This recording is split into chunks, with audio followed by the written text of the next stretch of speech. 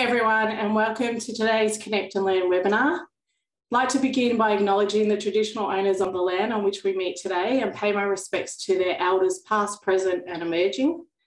I extend that respect to Aboriginal and Torres Strait Islander peoples listening today or in the future. My name is Rebecca and I'll be facilitating today's webinar, Psychological Safety and Window of Tolerance. This webinar is a part of a series, uh, the Connect and Learn webinars designed to support AOD clinicians throughout Victoria. The series is funded by the Victorian Department of Health and hosted by Turning Point. We do want our webinars to be interactive as possible, so we've set up a Q&A function, not the chat function. So any questions that you have throughout the presentation, please enter into the Q&A function I'll collate them at the end for our presenter. And, um, you know, unfortunately, we won't get to all the questions, but I'll do my best to put them into categories so Jen can kind of answer them as best she can. This webinar will be recorded and will be available later on the Turning Point website. Unfortunately, the slides would not be available, but again, you can watch it, um, you know, from our website at any time. We encourage you to stay to the end of the webinar and complete the exit survey when the QR code appears uh, on the final slide. You'll also get that survey um, via email, and we would really appreciate if you could fill it out. I'd like to present our presenter, um, Jen Thompson. Uh, I'm sure a number of you have heard her speak before, uh, and Jen, you know, we've got her back after doing um, some other presentations for us.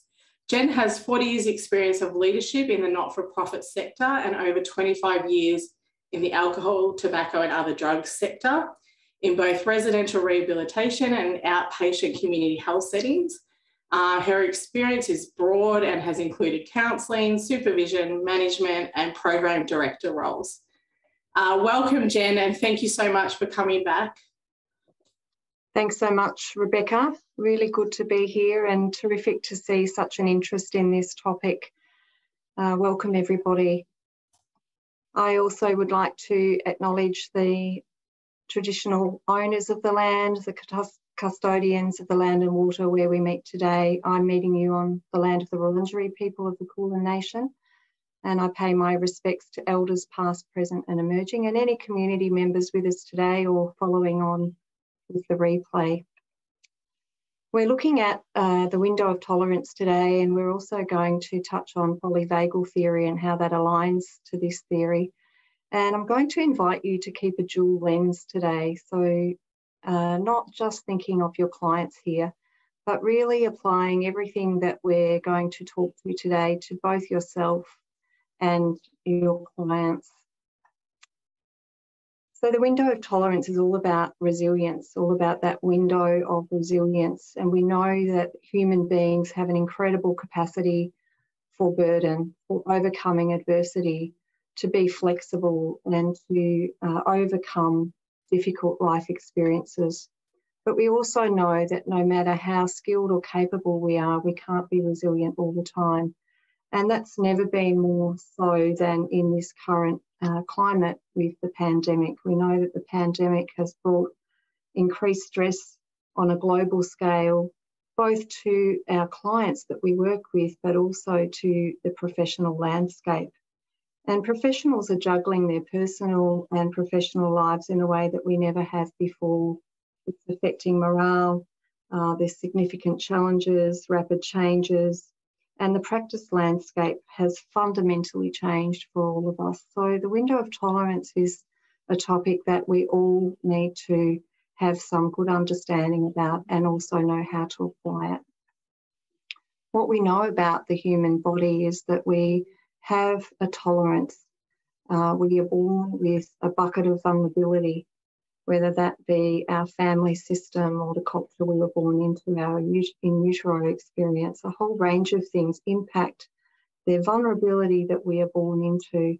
And over our lifetime, we accumulate a whole lot of challenging life events that become body memory, become stored in our nervous system. And what we know about our nervous system is that it's constantly scanning the environment for safety or danger based on our life experience. So when there's prolonged stress or trauma, and inadequate support, our autonomic nervous system gets dysregulated or flooded, overwhelmed, and moves outside of the window of tolerance. So, here it's important to really appreciate this incredible system that we have and to know that stress and trauma is not a mental injury. It's stored in our biology, just as we've, we've talked about in the introduction to trauma informed care. So now more than ever, we need a bottom up, top down approach because our nervous system is a bi-directional communication system. There's a superhighway uh, that is going from our brainstem, it's connecting to all of our major organs, our arms and legs, and helping us to mobilize, but also when overwhelmed, moves into shutdown or freeze. So this uh, window of tolerance is all about respecting the intelligence and the wisdom of what I call mind body. So we don't have a separate mind and body. The mind body is connected and it's a bidirectional superhighway of communication. So this is where the window of tolerance comes in. Here we have the window of tolerance. For all of us, we mostly know what it's like to live with this window of tolerance where we feel calm and occasionally our um, activation might take us to the top of the window. If we get frustrated or irritated, um, we may move down to the edges of the window. When we feel sad or disappointed, we may have a flat or low mood but we move up and down in a regular way within the window of tolerance. And this is particularly so when we have sufficient support. So, what enables us to sustain uh, being in the window of tolerance is our capacity for support, how much support we have, what resources we have, what social support and internal skills we've learnt about. So, when we get dysregulated, we actually move outside of the window of tolerance. So we can do this in the everyday, most of us move outside of the window of tolerance if we need to assert ourselves, set a boundary with someone. We may feel that activation of energy that helps us to get into that flight, fight um, activation. But when we get stuck there or when there is extreme flooding, then we start to experience in that dissociated or dysregulated state an impaired judgment in that state. We have emotional reactivity that's illogical, that doesn't make sense, that is loaded with panic or anger, and we have dissociated rage in that state. We can equally move down to a freeze response when we feel overwhelmed and feel that acting is not going to support us if we feel powerless, then we are more likely to have low energy, moving down to a dysregulated or dissociated state that is hypo arousal. Now, talking to many people in the sector, I see a lot of hypo arousal in the workforce because we've tried the fight flight. We've been in uh, rapid changes, adjusting, flexing, uh, working from home, doing all kinds of things that we need to do in this unprecedented time. And when we feel exhausted, we find that that exertion of energy is no longer available, and we start to feel that sense of despair or hopelessness or absence of sensations. So we tend to um, get stuck in that dissociated low energy state. So, with our work with clients, our goal and with ourselves is to widen the window. So, when we're working with people who have significant trauma history, if we think about the bucket of vulnerability, we think about the accumulation of life history in the nervous system and body memory. Window of tolerance might be really tiny. Uh, people may, we may experience that they're in hyperarousal most of the time, or they're in hypoarousal dissociation most of the time. And this is where we see dissociative identity disorder and, and um, dissociation disorders are in that stuck hypoarousal state. So our goal, hopefully, over time, with lots of trust and relationship building and skill building, we, we hope to encourage our clients to widen their window of tolerance so that they have greater capacity to remain steady, calm, able to think and feel at the same time when they're under distress. What we know is if we avoid our dysregulation, if we avoid our anxiety, we push it down, um, we ignore what's happening in the body, we know that avoidance just creates greater and larger problems for us, and dysregulation becomes amplified. So, this image comes from Dan Siegel, um, a great cartoon that a lot of my clients really like, where we're, our window of tolerance is like sailing between chaos and rigidity.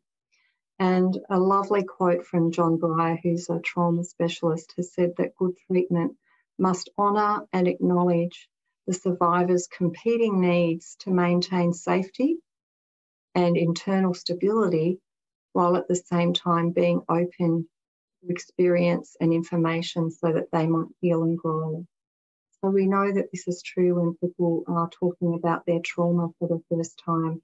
There may be a lot of triggering in that that that flips them from chaos to rigidity and needing to pendulate or um, titrate. So if we think of a bottle of soft drink that we shake up um, as representing someone with a lot of trauma memory in their body, we're going to just very slowly open the lid and allow a little out at a time and titrate or pendulate in order for the person not to become overly dysregulated, but to find some safe place to land, um, some sense of flow that is calm and regulated and able to think and feel at the same time. So, a traumatic event can trigger a stuck hyper-aroused experience or a stuck hypo-aroused experience.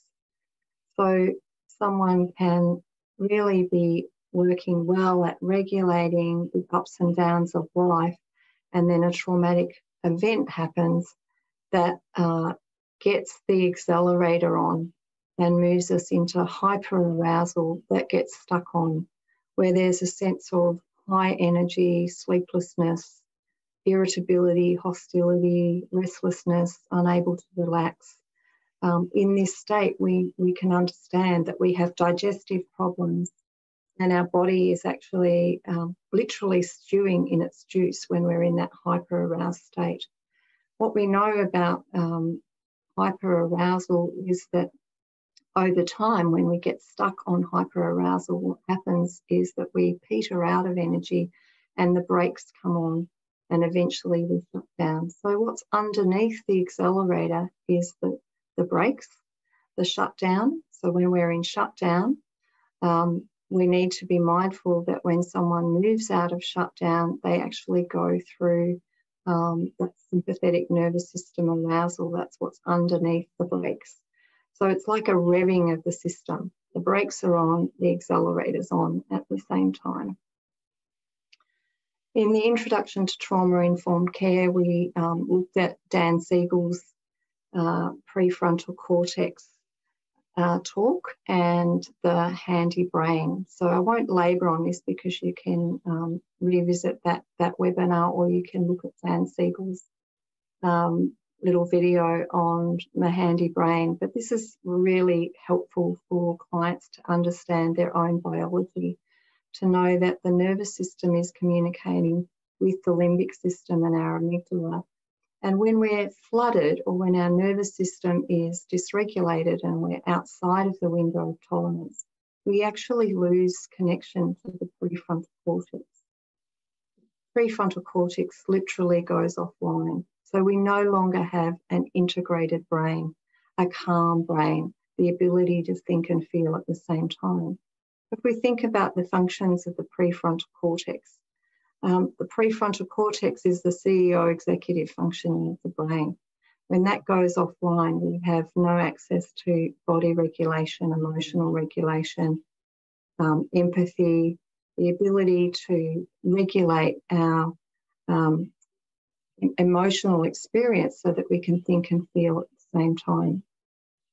So it really is all about understanding the upstairs brain and the downstairs brain and its connection or coherence with the whole body or the nervous system. So this is where uh, I want to bring in polyvagal theory because it can be very confusing for us and our clients when we start to try and align the window of tolerance with, with polyvagal theory. So Steve Porges uh, revolutionised our understanding of the nervous system by teaching us about uh, the three branches of the nervous system or the vagus nerve. And he, he found this by observing uh, premature babies. So if you're interested in looking at his work, um, you can look up how he came up with the theory of uh, polyvagal theory. It's a really interesting story. But what he discovered is that the nervous system scans the environment for safety and danger, and he used the, the word neuroception, so the perception of the nervous system, and that this actually bypasses the brain. It's scanning the environment for safety and danger through the body. So it's like an alarm, um, a smoke alarm of, of the body, of the nervous system. It's taking in information from both inside the body and outside the body at the same time. And 24 7, it is scanning the environment for safety and or danger. If the nervous system determines that we are safe or that you are safe, then the nervous system will really be able to activate the social engagement or the ventral branch of the nervous system. This is where we feel safe in our body. Our body posture demonstrates that. We're able to maintain eye contact and have facial expressions that let us know that we're safe to connect with. Um, there's a sense of homeostasis in our system where we're like that um, boat going through calm waters we're actually in the window of tolerance when, when our nervous system determines that we are safe. If our nervous system determines that the environment or person is dangerous, this activates our sympathetic nervous system, which activates our defense strategies. And this happens within seconds. So when our nervous system determines that there is danger, we get activated into the fight, flight, or mobilization. There's high energy. We're ready to fight, we're ready to run, we're ready to take action. If our nervous system determines that there's no point running or fighting, that in fact it's pointless to take any action or to mobilize, the nervous system chooses the dorsal branch. It's an emergency state it's a state where we believe that there's no point taking action, and the smartest thing to do is to freeze or to shut down. And so our nervous system automatically determines which branch is going to be activated based on neuroception, based on nervous system interpretation of the environment. So this is what it looks like in our body. Our ventral vagal safety window of tolerance is the green, where we're able to connect, we're able to feel joy, we're able to be curious, our digestive system is working, our immune response is adequate, we're able to rest and recuperate, and we're able to fuel um, our vital organs and non vital organs. And there's plenty of oxytocin going on. If our sympathetic branch is activated, represented in the yellow, you see that there's um, this fight flight response. The branches are activated in our arms and legs, getting us ready to fight or run. So, this is where we activate fear or rage. This is where we notice we're in a state of panic. Our blood pressure rises, our heart rate increases, there's a lot of adrenaline um, there's a high circulation to vital organs. And so we see this in pupil dilation, we see this in body posture, It's a survival instinct activation. Then the dorsal branch we can see is the emergency state where we get numbed. There is a state of low energy, depression, uh, a sense of overwhelm, helplessness. This increases fuel storage.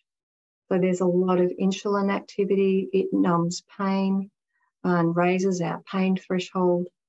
And what we notice in this state when the dorsal um, branch is activated is there's a decrease in our heart rate. Uh, we have low energy. We might have low blood pressure. We have digestive problems. Our muscle tone can be affected and our temperature can be affected. We can have low temperature and a low immune response in that state. So here we have um, the overlay of Dan Siegel's window of tolerance and Steve Porges' polyvagal theory in one, one image. We have the window of tolerance, which is the ventral vagal branch, showing that uh, in this state, in nervous system state, we have relative resi resilience. We can be curious, we've got logic available to us, we're able to focus. Um, there's a sense of feeling of joy. In the fight flight uh, response, this is our sympathetic branch in the polyvagal um, approach.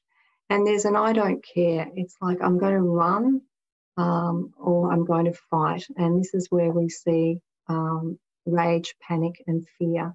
What's important to note in all of these that when we are dysregulated, we are in survival mode. It is a survival instinct. It's an adaptive way of coping with a perceived or real threat.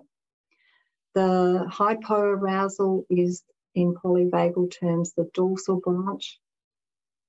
And what we can see is uh, there's a real solid alignment in the window of tolerance theory and, and polyvagal theory. But then we start to see the books that are coming out by Steve Porges and Deb Dana and a lot of handouts for clients. And we see that um, in understanding polyvagal theory, they have the principle of hierarchy. So you can see that the window of tolerance is in the middle um, of this uh, graph. And that in polyvagal theory, we have ventral or the window, the window of tolerance in Dan Siegel's language at the top. And what Deb Dana is uh, teaching in, in many of her books on polyvagal theory, um, there is the principle of hierarchy. So it's a bit like an upside down traffic light. We have uh, the ventral vagal at the top, which is what we're, we're aiming to access. And the hierarchy or the ladder is that when we're in dorsal, we actually need to go through sympathetic to access ventral. So what's often underneath dorsal is the accelerator on. There's a lot of energy. If someone's in dorsal vagal activation, it's not that there's nothing going on. And that's how it can appear. They can appear low in energy, disengaged, um, collapsed, unable to communicate. But actually, what's beneath that is a lot of feeling. It's actually an indication that there is so much overwhelm, so much sympathetic activation that the system has shut down. So, once people move out of that dorsal, we need to be able to hold the space for all of the activation um, that will be beneath that. So, there will be a great deal of fear and anger and frustration beneath dorsal vagal. So if we think about observing the body and noticing our clients or our own posture, how we can tell uh, someone is in a hyper-aroused state. So we can see this in the body language, in the tone of voice. It's a high energy, hyper-aroused, red zone arousal. So the sympathetic nervous system is activated and it's panic or rage. And what we know about that rage is that all of that anger is always anxiety. It's survival. So wherever there is anger, there is anxiety with it. And anxiety is the activator of that anger. Someone in dorsal branch activation or hypoarousal, you can see it in their body posture with a collapsed posture. The shoulders are down, unable to make eye contact. Um, clients in this state may not pick up their phone, may not be engaging, may not be turning up to their appointments. Um, they may be finding it really hard to find their words. They may be feeling a sense of despair and what we know is that they're in hypoaroused activation. Their dorsal branch has been activated. And what we know about that from polyvagal theory perspective and Steve Porges' perspective is that when someone is in shutdown, we know that that's a result of extreme overwhelm of the sympathetic nervous system window of tolerance, we can notice that in someone's posture by their readiness to engage. The facial expressions show very clearly when someone is in a window of tolerance. They're able to maintain eye contact, they're able to smile, um, their shoulders are relaxed. There's an openness, uh, there's a sense of ease and connection, uh, connection of function. So, really attuning ourselves to how someone presents and what we're noticing in our colleagues, in our clients. By observing posture, it tells us a lot about what's going on in the nervous system and where energy is. We know that hyperarousal is not all wrong. So we need hyperarousal and the activation of the sympathetic nervous system sometimes to set boundaries, to say no. And so sympathetic uh, arousal is not all bad. Um, so this is really important for our clients to understand. And we know that when clients are learning to set boundaries for the first time, or if we're setting boundaries for the first time, there's going to be some anxiety about that. It's going to push us potentially outside of our window of tolerance. And for clients to know that, for them to be already thinking about what's happening in their nervous system and to have a language and an understanding it's normal to feel really un, uncomfortable when we have to assert our boundaries for the first time if that's really unfamiliar. But to know that um, this is what's happening in their body that their sympathetic nervous system is coming to their aid to help them to set those boundaries. We also know that the dorsal uh, vagal activation blended with ventral is essential to our sleep, to our resting and digesting, um, to our ability to stop and rest.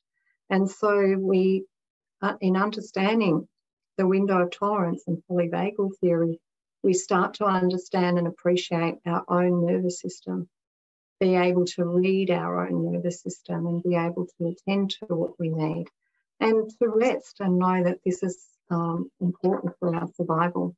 And if we don't take that rest, then our nervous system will force us to rest. It will shut us down.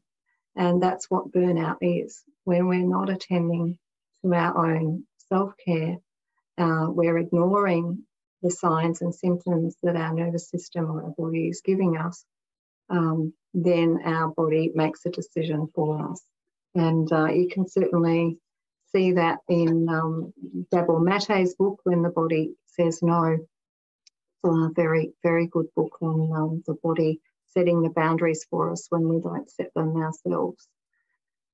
So, one of the things that we can do in um, having conversations with our clients about the window of tolerance is to consider when we've built a relationship of trust and we have um, a really good sense of trust and safety with our clients, we can start to explore the history of their body, the history of their nervous system. And we might do that by exploring or getting them to um, list their positive and negative life experiences. And we might ask them to allocate um, zero to 10 in terms of no disturbance or extreme disturbance. And this is important to do in a session together so that we can uh, watch for cues of dysregulation and notice uh, when the body and the nervous system um, is activated and being able to talk about that and regulate that in the session. It's also really helpful uh, to know what their positive experiences are and to um, get a sense of what happens in their body posture and tone of voice when they're talking to those things and to know um, all of the experiences that have actually brought them joy and to include that in our work and our treatment, our conversations. It can also be used with the reasons for use scale, if you're familiar with that. Uh, that starts to help clients join the dots around uh, extremely disturbing uh, experiences that they've had and how using substances may be helping them to get into the window of tolerance or getting a false sense of window of tolerance uh, as a way of regulating the nervous system. What we know uh, through Babette Rothschild's work is that when a client is dysregulated, the most important thing we can do is put on the brake. So slowing things down, lowering the bar, reducing the pressure, pausing what we're talking about and regulating so that that dysregulation can be regulated and that the clients can see that they actually have the capacity to regulate that, that pressure when they're feeling triggered or dysregulated and exploring what are the what are the self-soothing or co-regulating skills that actually help them to regulate. There's a lot of uh, great graphs out there that help the conversations with clients, and I, I use this one a lot. Um, it's not the window of tolerance because it's the, the traffic light polyvagal uh, ventral at the bottom, but it's a great uh, graph to help clients map their own nervous system. And I actually find this useful uh, for ourselves as workers to actually look at how is my nervous system? Am I uh, experiencing that social engagement or have I um, gone outside of my window of tolerance up into fight, flight, or freeze. And I guess this is more accurate in terms of what's happening that we move through sympathetic activation to the freeze response. Um, and it, it's a really helpful tool to really get some words to describe exactly what, what's happening. In the freeze, we're feeling overwhelmed. We can't take action in the fight flight, we are mobilised, we can take action. And in the green ventral vagal window of tolerance, the sense is I am safe. This is another overlay of, if, if anyone's interested in internal family systems, where uh, polyvagal theory and internal family systems have been overlaid here. So we see the window of tolerance at the bottom, resilience, uh, set the self or IFS and I can and I am statements. So, in that state, feeling a sense of flow, a sense of co regulation, feeling safe to connect. And then you can see um, in the sympathetic and the hypo-aroused states, we see that named as survival. And, and this is really, really helpful because when we are dysregulated, it's so important that we appreciate our body is working to protect, working to help us survive something. And it's automatically coming to our aid because it has interpreted some form of danger. So, what I love about this is um, the identification of the exiles um, those vulnerable parts of self being in the survival um, part of the nervous system, and that the freeze response is uh, recognition of protectors. So in IFS, there's the use of the term defenders or firefighters, that the firefighters and defenders are coming to our aid to protect us. Um, and the firefighters can um, be in that sympathetic fix protect mode. And there's a sense of I must. I must take action. I must seek safety. In the freeze, it's a sense of submit or collapse. And it's all about withdrawal. I am seeking safety via disconnection.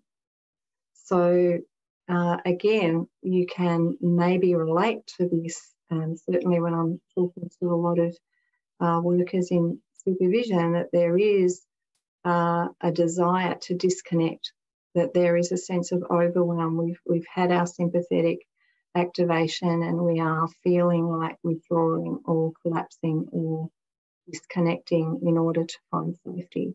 So these are all cues of knowing what is exactly happening to my nervous system and how is it interpreting the um, environment and how is it seeking to protect me. Another one is the metaphor of freeze and fire and the window of tolerance being the sweet spot in the middle. And clients really like these metaphors. They, they relate to them. They can see that the freeze response or the hypoarousal is exactly that, freeze, a frozen state, an inability to move, a numbness, and that the hyperarousal is hot. It's high activity. Um, there's a racing of thoughts and a racing um, of, of anger and emotions in, in that state. So they really relate to that. And in this um, graph, it's identifying that triggers are what activate uh, the dysregulation or the survival instinct. And I think I would I would use the word survival activation um, rather than dysregulation. We can use both words because it is it is the dysregulation that's certainly how clients feel it and experience it, and they feel like they are out of control.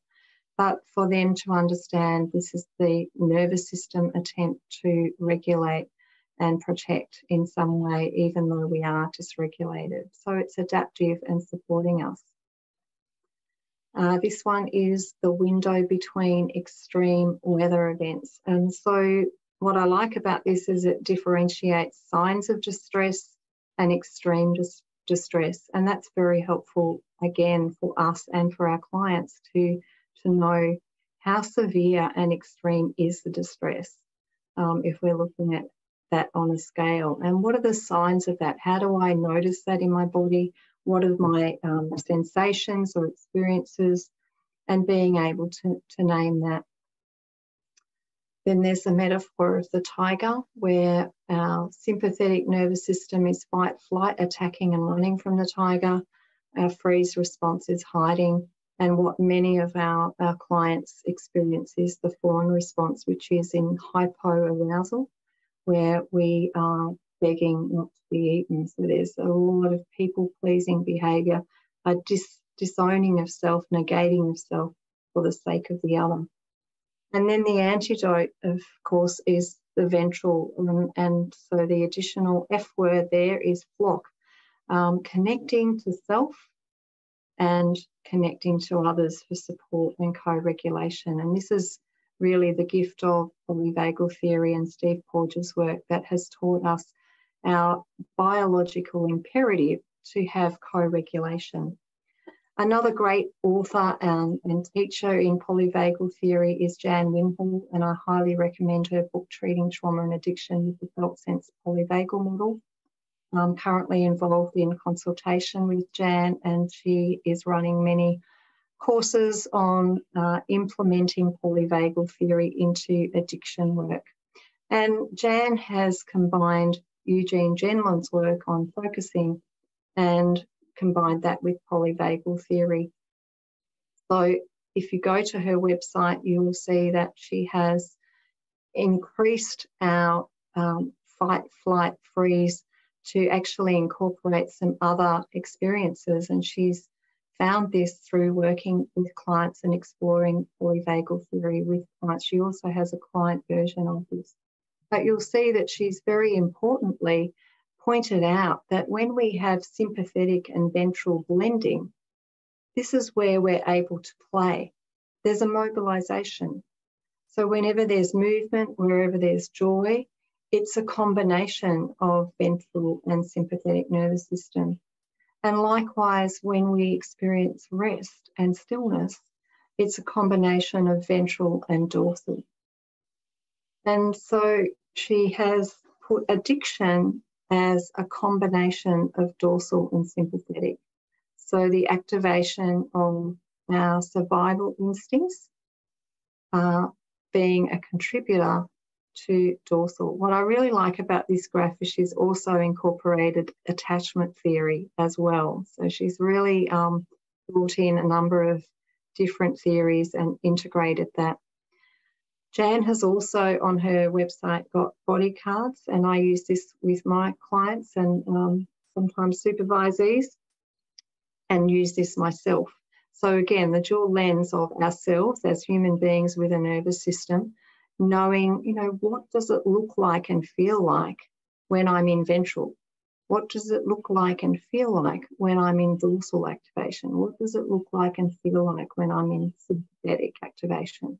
What are the thoughts I have? What are the memories that have been triggered? What does that look like in terms of colour and shape? So clients really like this. It really helps them to get to know their own nervous system and to start to feel and experience through this, this artwork what it feels like in their body and where it is they feel it when they're in the safe uh, ventral vagal activation and when they're in dysregulated states. So um, as Jan has pointed out, it's a combination of Eugene Gendlin's work and Steve Porges' work in her felt sense experiencing. And what's important in, in this work, um, in bringing polyvagal and the window of tolerance into our work, is really appreciating that the essence of working with another person is to be fully present to them as a living being. So our ventral vagal presence regulates clients when they're dysregulated. If we think about the nervous system talking to nervous systems, our presence of ventral is being able to be an anchor for the person who's dysregulated by being with or having co regulation.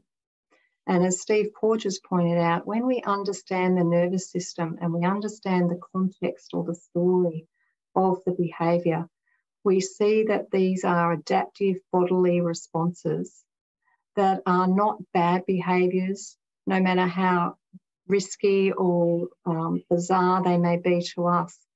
That if we understand the function of behaviour, we start to see that the body is always working to our survival. And often uh, these functions are heroic when we understand the context.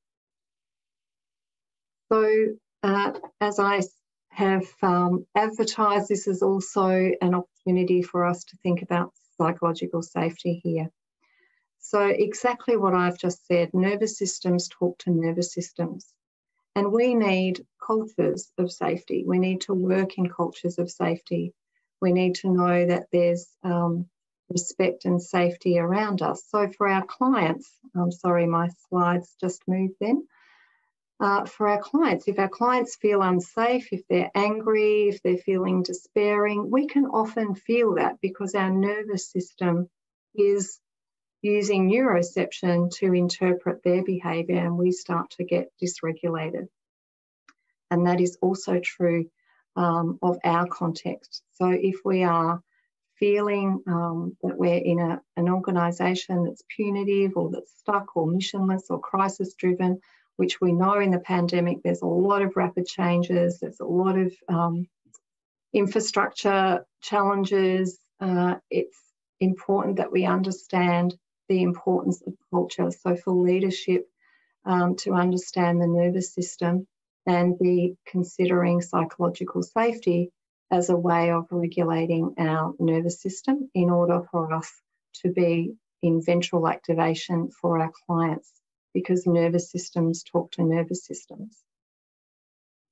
If we think about the principles of trauma informed care, it's all about safety, it's all about uh, creating trustworthiness and transparency, um, having collaboration and mutuality, empowerment, choice, and voice. So, this is important in our culture to have psychological safety for us. We need to um, have a organisational culture that's observing the principles of trauma informed care and also thinking about psychological safety in the culture of the workforce, in the culture of the team. So, psychological safety is high level of trust uh, that has the ability to feel included. So I have inclusion safety. I am welcome. I belong.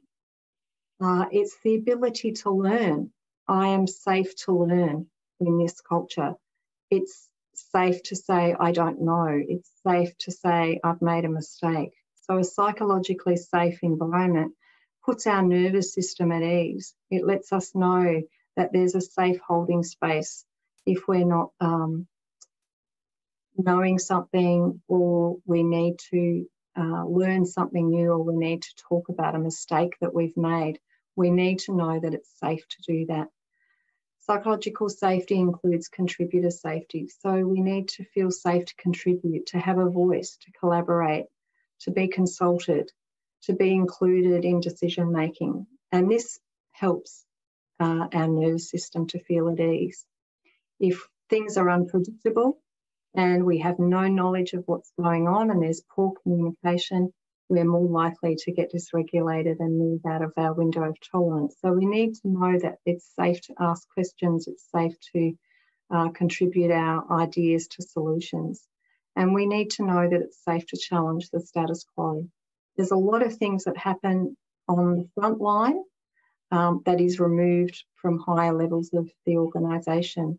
And so the ability for frontline to start to talk about some of those challenges and to contribute to um, pointing out solutions is really critical to psychologically safe cultures and, and teams and environments.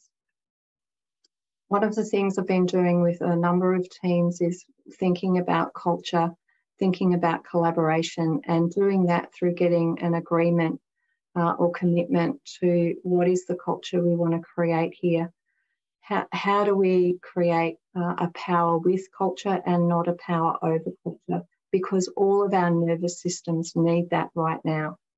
So, an activity such as creating an above the line and below the line um, mapping exercise that gets the, the team to agree what is above the line behaviour and attitudes, what's below the line, and getting some predictability. What, what can we um, commit to? What can we be certain of? And also appreciating in this the power of co regulation. So, as I said, it's a biological imperative. Where We're wired for social connection. There's incredible isolation right now, and nervous systems um, are smoke alarms picking up danger and safety in our environment. So, now more than ever, we need to know we have safe landing pads. We need to know there's backup, there's support, there's collaboration, there's consistency, there's kindness, and there's clarity around um, our environment and our culture.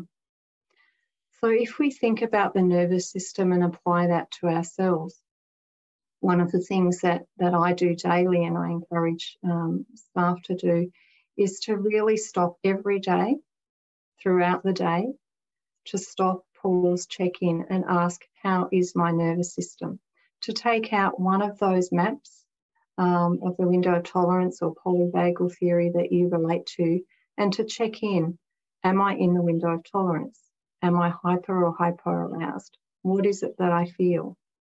So we know to name our emotions really helps us to take charge, to ask ourselves how our energy level is. Is our energy up, hyper, manic, or are we actually uh, low in energy?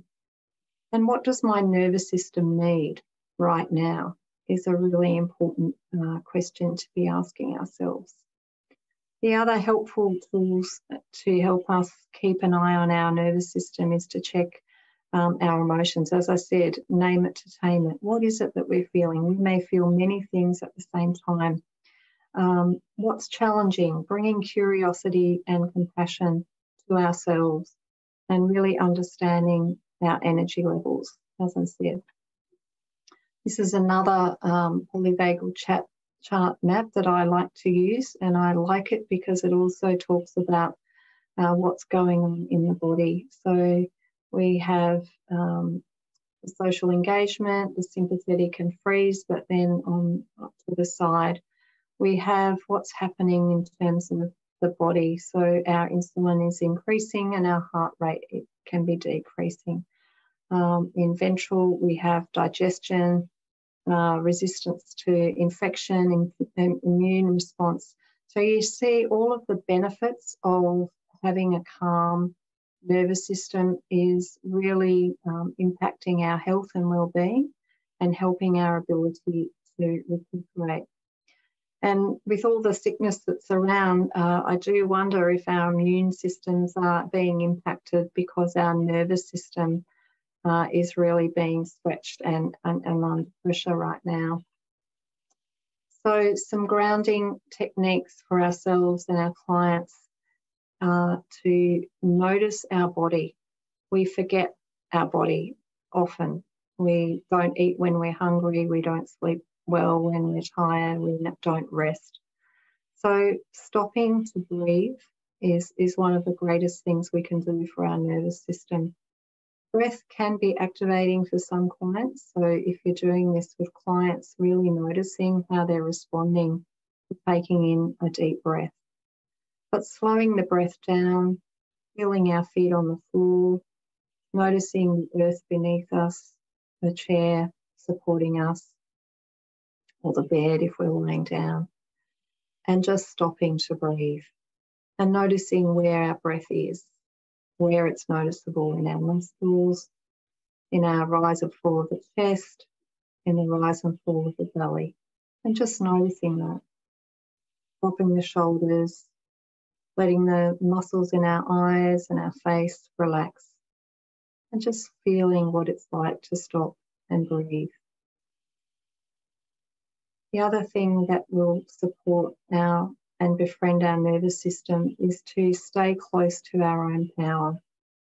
Really know what we have choice about, um, to look for cues of safety in the room, to support ourselves with um, allies and friends for co-regulation, to really think about what power do we have and what power can we claim in order to keep our nervous system well and in the window. And the last activity for grounding that I really like to use with, with clients is left hand on heart, right hand on belly, taking a breath and noticing um, the act of kindness as we place our own hand as a befriending activity to our nervous system and just feeling what that's like to self soothe. Self soothing is an instinctive behaviour.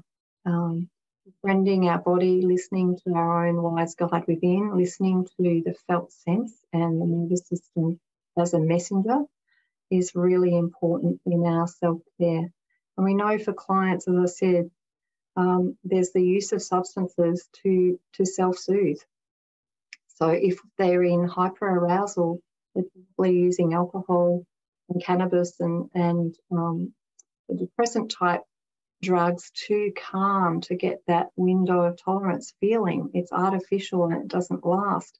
Um, but there is that sense of self soothing or self regulation in that uh, behavior. And equally, if they're in dorsal vagal activation, then stimulants can be uh, really attractive to help give them that false sense of mobilization or activation that they need. So, getting to know our own uh, body, our own nervous system, finding self soothing activities, noticing what we need, and attending to that.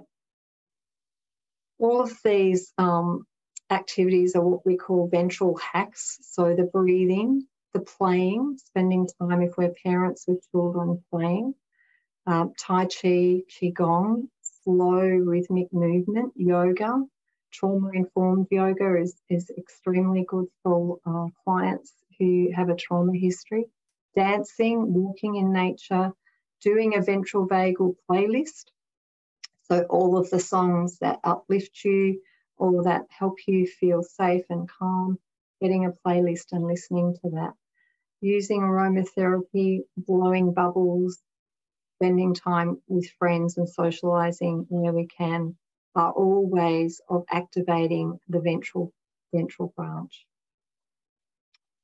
So this is all about being embodied. The window of tolerance is really bringing attention to our body, bringing us out of our mind, appreciating the bidirectional superhighway of our mind body and realizing that our life can only be lived when we're fully present to our whole selves. Helping our clients to do that, get a language for that, and doing that for ourselves um, is, is a great gift of healing. So now we're uh, open to questions. Thank you. Yeah, shortly that'd be great. Thank you. Um, we've got a few questions, Jen. We're probably not going to get to all of them. Um, first one, I'm interested to know if there's a specialist in this area that we could refer clients to help them learn and understand this theory about what is happening to them. Uh, I feel there is such an emphasis on medicating people that this is getting overlooked. Absolutely, yeah. So, um, in terms of referral, the, the first thing I would say is learn more about this and get really good at it because it's not that challenging and really getting a good understanding of of polyvagal theory and window of tolerance. There's lots of very simple ways of having these conversations with clients that makes a huge difference to clients because it's empowering them, it's giving them knowledge about their own body.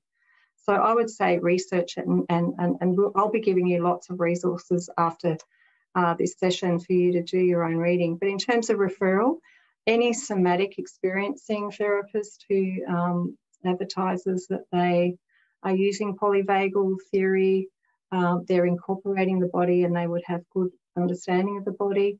Um, as we've had a webinar in the past with OTs doing sensory uh, profiling, sensory modulation, and OT um, can be very helpful in a client getting a profile of their sensory needs and using that to actually modulate or, or uh, attend to their sensations as a way of regulating themselves in their window of tolerance. They're the two things that come to mind for that question. Thank you very much. And that's a good reminder about the other webinars that we have on the Turning Point website. Next question How can we apply this with clients who report that they continually hyper aroused hypo aroused, but always present well in session or put on a front without intending to? Yeah, so um, that's their survival instinct. And so what we know is, you know, presenting well, protecting um, image and, and expressing vulnerability in front of another person can be extremely anxiety provoking and distressing. And if they've had no template for that in their family of origin or history, that can be really hard. They think that they have to present well. But I would be using the, the body cards to get them to explore what actually happens for them, giving them the information. My, my rule of thumb is to educate the clients with everything I know about these theories um, in ways that are pal- palatable for them, in, in language that they understand. You know your own clients best. Um, so that they can be educated about their own own biology, and they can do that through um, the artwork on the body cards. They can get a sense of when they're in hyperarousal, when they're in hyperarousal, and what are the things that support them.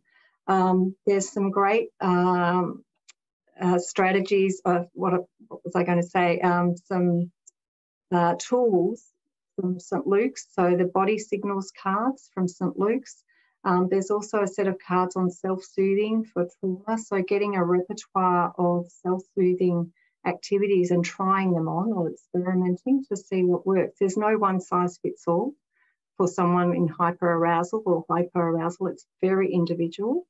Um, so it's exploring what what capacity can they um, develop through resource. So we use the term resourcing the client by exploring their self-soothing strategies, seeing what worked, um, and then gathering a repertoire themselves so that they start to create their own self-soothing um, plan or kit. Thank you. Uh, just, I, th I, think we've got time for one more. Mm -hmm. um, apologies to everyone that we didn't get to your question. And I notice there's quite a number of questions coming through now. I'll try and respond as best I can. Okay, Jen, final question. How do we differentiate body responses for those exposed to complex trauma, uh, specific to those who may have an undiagnosed neurological disorder? Mm, well, that's outside of my skill set. I guess I work with what's in the room. If if there's hyperarousal or hypoarousal, I'm working to regulate that.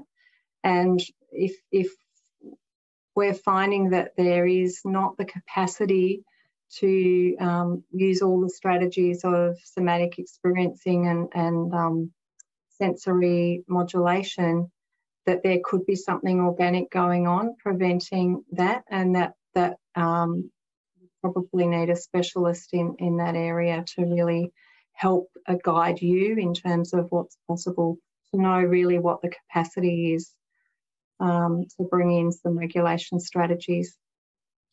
Thank you, Jen. I'm going to sneak one last one in because um, this is probably quick to answer. Um, are you aware of any good YouTube videos that clients could watch? Sure, um, there are quite a few. If you Google window of tolerance or polyvagal theory, there's quite a few cartoon type um, videos. I would always watch the video first to make sure it, because uh, there's lots on YouTube and Google. So just check them out yourselves. But um, certainly feel free to email me if you have further questions and I can answer in an email. I can send you resources or um, video YouTube links that I use with, with my clients. But if you've got a good relationship with the client, the best way of educating the client is for you to actually have that conversation with them yourself um, and then maybe send them a YouTube link between sessions uh, can be very useful. There's a lot out there. Mm. Thank you, Jen. I might get you to move to the, the slide with the QR code. Mm-hmm. Um, so if people could spend the time uh, filling out the evaluation survey, they'd be really appreciated. Um, for those that are asking, the slides are not available, but Jen's going to provide us with lots of handouts and the webinar will always be available on the Turning Point website. Jen, thanks again for coming back um, and for such a wonderful presentation yet again. And thank you to everyone for attending. Thanks very much for the opportunity and feel free to contact if you have further questions that we haven't been able to answer. Thank you. Thanks, Jen.